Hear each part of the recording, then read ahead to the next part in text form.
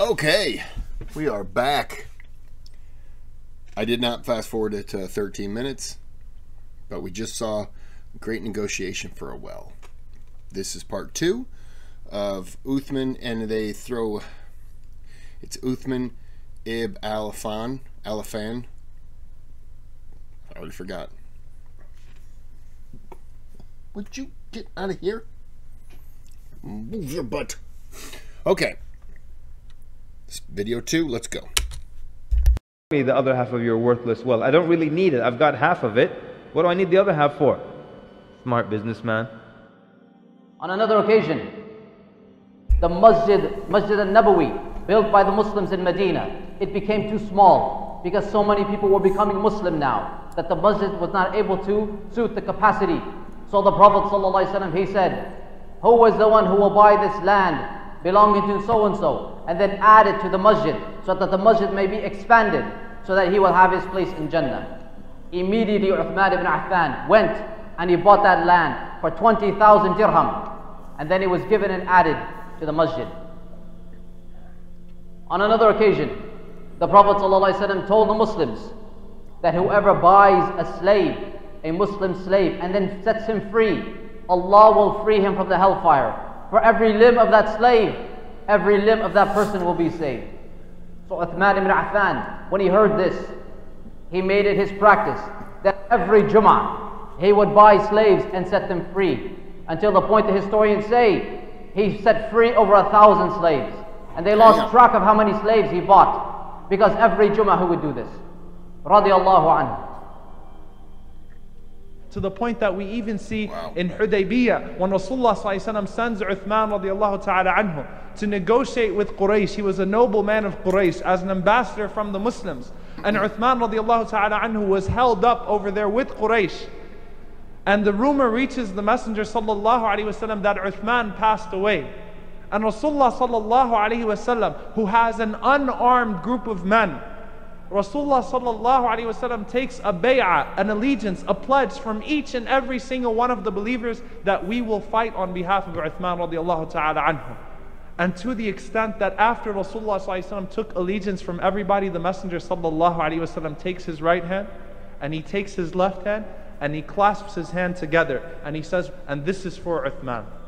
And Imam Hassan al-Basri rahimahullah, he says, oh how I wish to have been the hand of Rasulullah sallallahu alaihi wasallam on that day.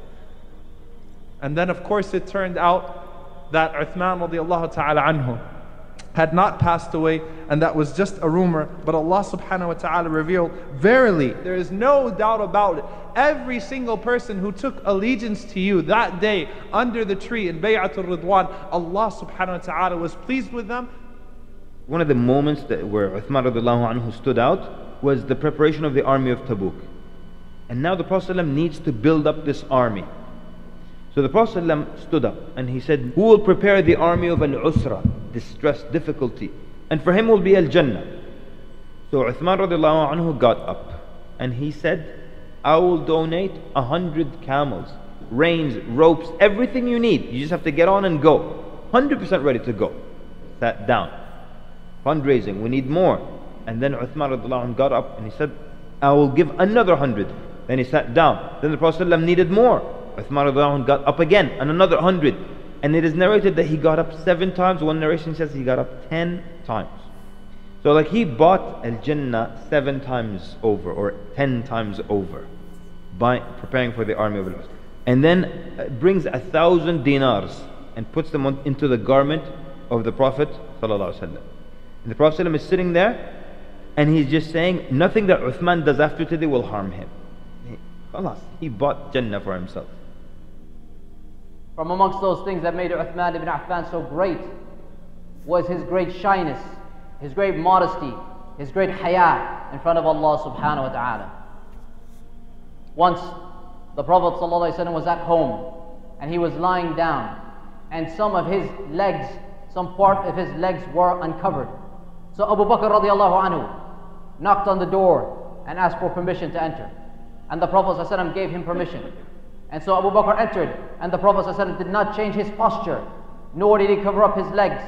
So Abu Bakr came and spoke to the Prophet ﷺ, and then he left. And then Umar came, and he asked for permission. And he entered and he spoke to the Prophet ﷺ, and the Prophet did not change his posture nor cover his legs. And then Umar he left.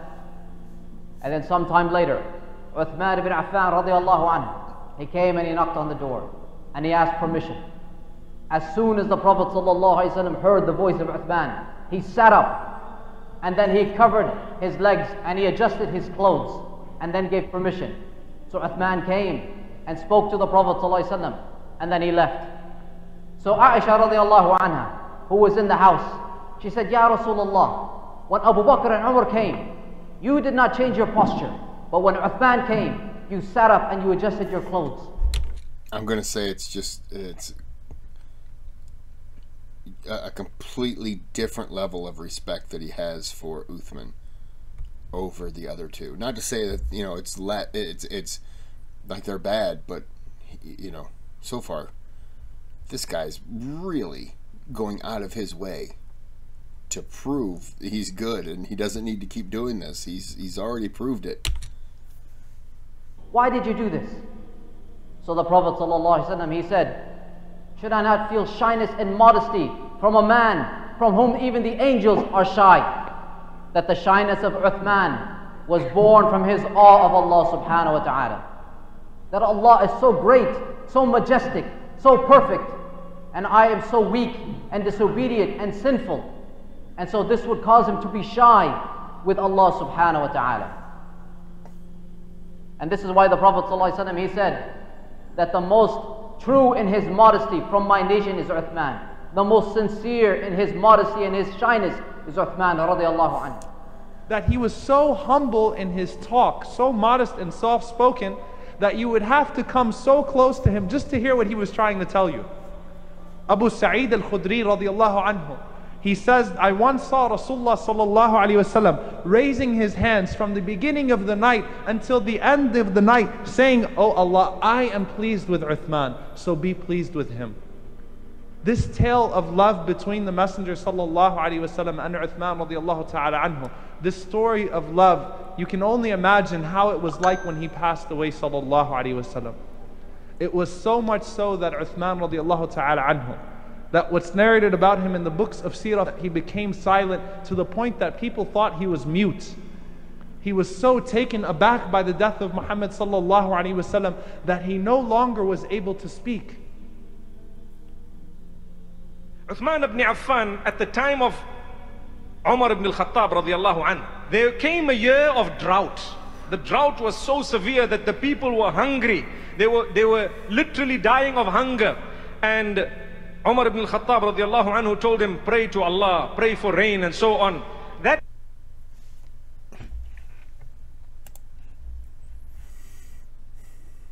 Wow. I'm pretty sure he was crushed when, when Muhammad died. And I think Muhammad would have been crushed when if Uthman and so on. That day, people had heard that there is a great caravan of Uthman coming from the northern part of the peninsula and it has in it a lot of food and a lot of provision and sometime later in the afternoon a huge caravan consisting of 1000 camels pitched up into Medina Munawwara and it literally stopped at the door of Uthman ibn Affan radiallahu anhu and the people had come out and they started helping getting the produce down and all the merchandise, most of it was actually foodstuff. And Uthman ibn Affan emerged and the businessmen of Medina Munawwara who had the money, they emerged and they said, Oh Uthman, we want to buy from you. The people are dying of hunger. We want to buy from you, from this food. We will give you for every dirham that you spent, two dirhams. He's going to give it away for free. That's just what he does. which means we give you 100% profit. He said, no, I, someone has offered me more. So they said, okay, we give you more. He said, no, someone has offered me even more. So they said, okay, we will give you even more. And they continued. He said, sorry, someone has offered me more than whatever you people have offered. They said, it cannot be. We are the business people of Medina Munawwara. We know. We are the first to come to you. Who else has spoken to you? Nobody would be foolish to give you so much.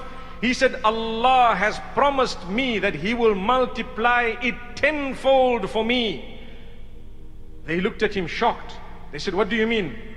He said, I make you witness that all these thousand camels you see here, I have donated them for the Muslimin. They can have them. I don't want a single dirham or dinar. This is between me and Allah. You people may have this. This was Uthman ibn Affan, the great hero, the man who spent. Subhanallah. Uthman, he once said, Three things have been made beloved to me from this life. Out of this dunya, it's not wealth or power that I crave, but three things that I love feeding the one who is hungry, and clothing the one who is naked and doesn't have clothes, and reciting the Quran. So Uthman bin Affan, he loved to spend his life, spending his time in the service of his brothers, feeding the weak and the needy and the, and the hungry, clothing those who had no clothes, helping those who were in need, and spending his time reading the book of Allah subhanahu wa ta'ala. And because Uthman ibn Affan, radiallahu anhu, he loved the Quran so much, it was the decree of Allah subhanahu wa ta'ala that his name would forever be connected to the Quran.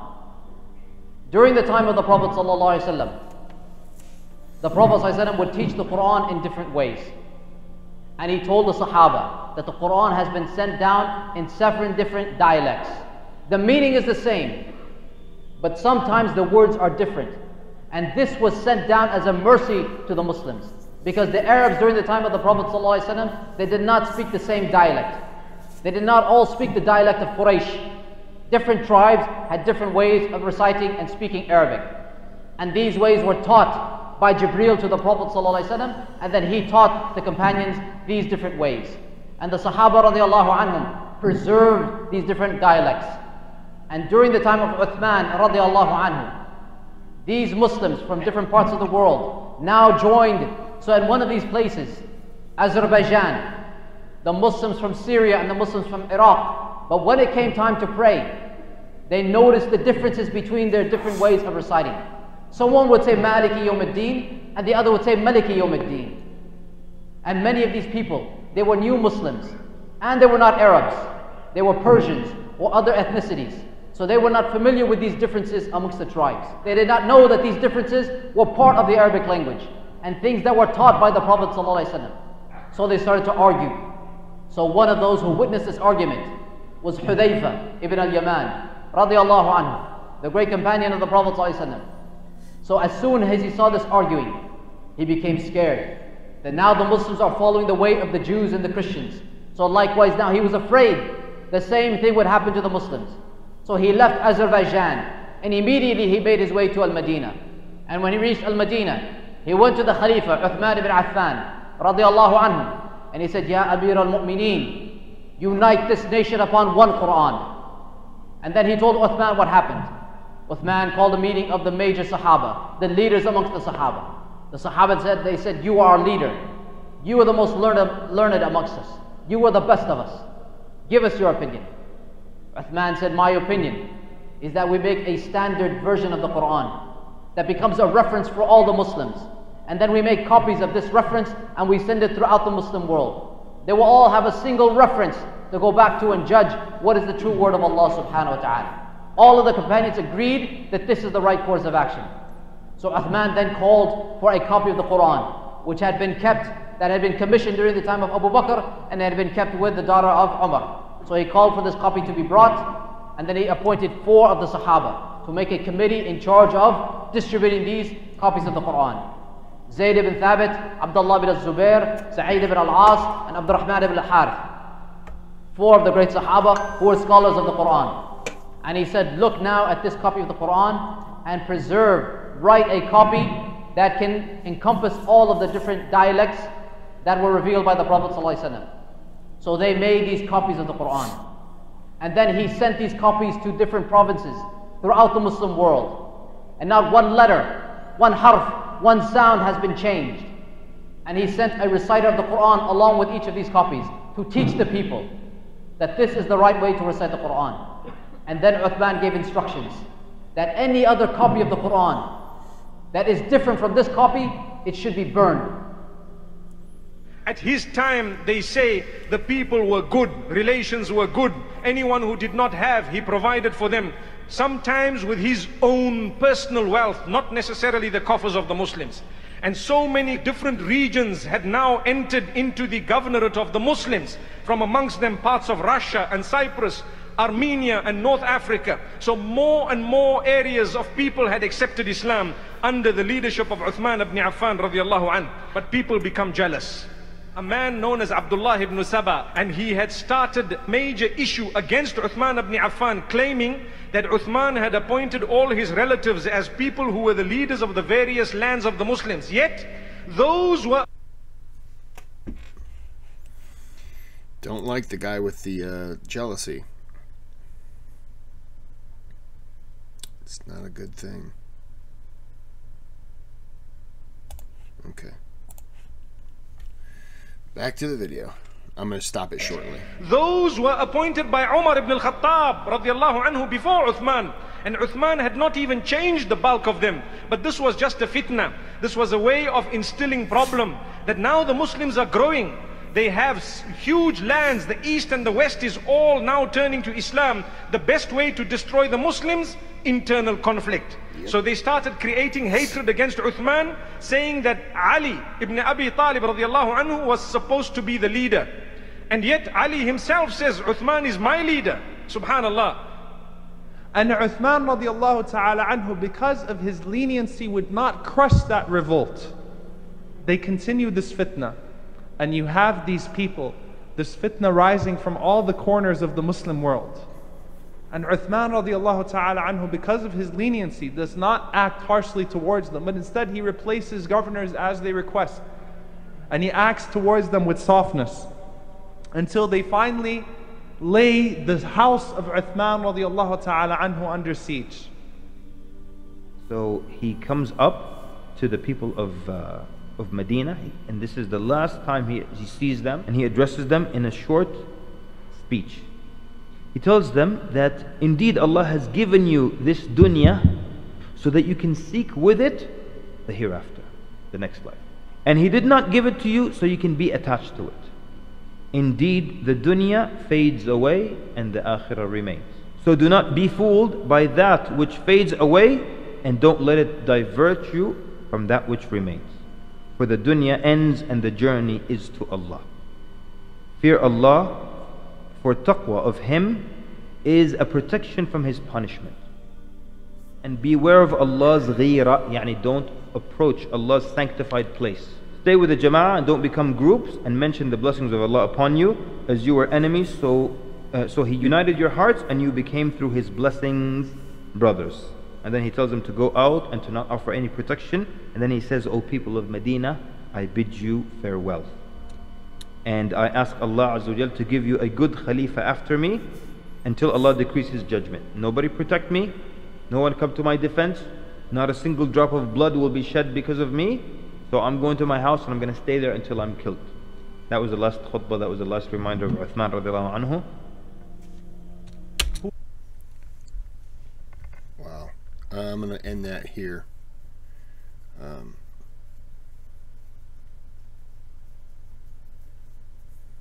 yeah, I don't, I don't, I don't really have anything I can I can add right now.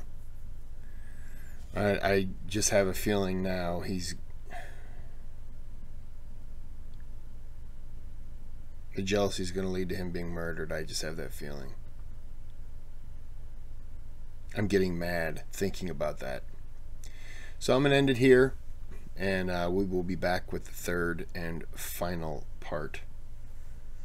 Which, uh, spoiler alert, two people try to murder him, and he like karate chops them. He throws the knives away. Then he takes a smoke bomb and throws it down. Explodes. Smoke goes everywhere, and he disappears like a like a ninja magician.